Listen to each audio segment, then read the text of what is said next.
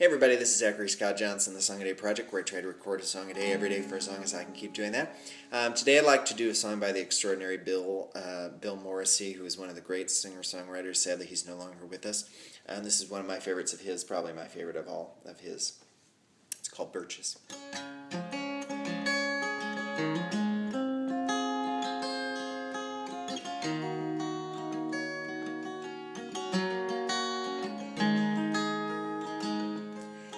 Sat at each end of the couch and watched as the fire burned down.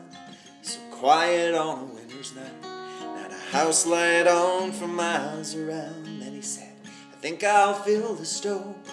It's getting time for bed. And she looked up, I think I'll have some wine. How about you? she asked, and he declined. And Warren, she said, maybe just for tonight. Let's fill the stove with birches and watch as the fire burns bright. How long has it been? It's been quite a while. And pour yourself half a glass and stay with me a little while. And Warren, he shook his head as if she'd made some kind of joke. Birches on a winter's night. No, we'll fill the stove with oak.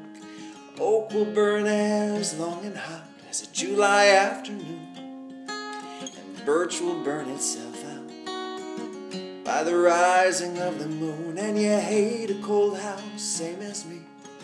Am I right or not? Alright, alright, that's true, she said. Anyway, it was just a thought. Then she said, Warren, you do look tired. Maybe you should go up to bed. I'll take care of the wood tonight. Oak, he told her. Oak, she said.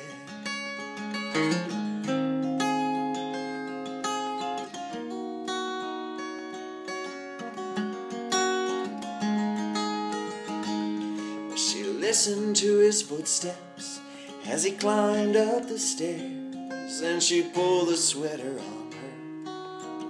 Set her wine glass on a chair. She walked down the cellar to the woodbox. It was cold as an ice chest. Then she climbed back up with four logs, each as white as a wedding dress. And she filled the stove and poured the wine and sat down on the floor.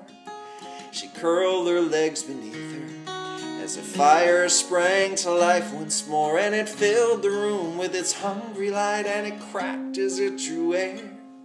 And the shadows danced a jittery waltz like no one else was there. She stood up in the heat and she twirled around the room, and the shadows they saw nothing but a young girl on her honeymoon. And she knew the time it would be short, soon the fire would start to fade. She thought of heat, she thought of time, and she called it an even trade. Thank you.